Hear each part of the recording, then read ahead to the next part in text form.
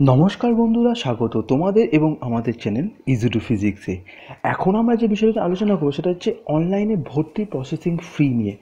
অনলাইনে ভর্তি processing free নিয়ে নির্দেশিকা জারি করল উচ্চশিক্ষা দপ্তর এবং সেই নির্দেশিকায় কী বলেছে এবং সেটাই আজকে আমরা সেই বিষয়ে আলোচনা করব।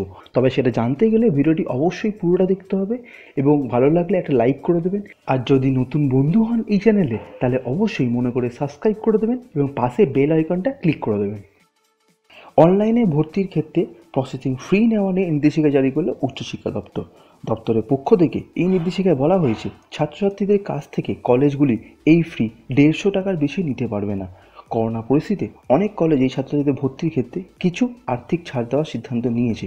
যা নিয়ে শিক্ষামন্ত্রী পার্থ চট্টোপাধ্যায় বলেছিলেন, অনলাইনে ভর্তির জন্য যে প্রসেসিং ফ্রি নেওয়া হয়, এবার যেন কলেজগুলি তা মুকুব করে।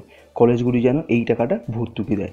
অনলাইনে ভর্তির সময় ব্যাঙ্কগুলি তাদের চার্জ হিসাবে এই টাকাটা কাটে, কিন্তু কিছু কলেজ ছাড়া প্রায় সব কলেজে এই চার্জ নেওয়া বলে অভিযোগ উঠছে। সূত্রের খবর গত দশই আগস্ট থেকে রাজ্যে কলেজগুলি ভর্তি শুরু হওয়ার পর থেকে উচ্চশিক্ষা দপ্তর এবং শিক্ষামন্ত্রী পার্থ চট্টোপাধ্যায়ের কাছে খবর আসছিল। কোনো কলেজে সাড়ে তিনশো টাকার প্রসেসিং ফি নিচ্ছে কোনো কোনো কলেজে আবার চারশো টাকা নিচ্ছে। তারপরেই সব বিশ্ববিদ্যালয়ের অধ্যাপকদের চিঠি লিখে রাজ্য সরকারের বিশেষ সচিব। তাদের নির্দেশ দেওয়া হয়, করোনা এই পরিস্থিতিতে স্নাতকোত্তরে ভর্তির জন্য পড়ুয়া পিছু নথি আপলোড করার জন্য সর্বোচ্চ দেড়শো টাকা নেওয়া হবে। তবে অনলাইনে আবেদন প্রক্রিয়া মিটে যাওয়ার পর কলেজে ভর্তির ফ্রি ক্ষেত্রে সর্বোচ্চ সীমা পেতে দেওয়া হবে কিনা সেই বিষয়ে এখনও কোনো সিদ্ধান্ত হয়নি বলে সূত্রের খবর। প্রসেসিং ফ্রি নির্দেশিকার সঙ্গে ভর্তির ফ্রি কোনো সম্পর্ক নেই বলে জানিয়েছেন উচ্চশিক্ষা দপ্তর।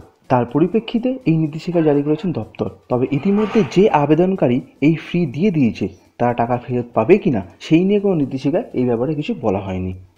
আশা করি ভিডিওটি তোমাদের ভালো লেগেছে। আর যদি ভালো লেগে থাকে, তাহলে প্লিজ চ্যানেলটিকে সাবস্ক্রাইব করে দেবেন এবং লাইক অ্যান্ড শেয়ার করতে কিন্তু ভুলবেন না। Thank you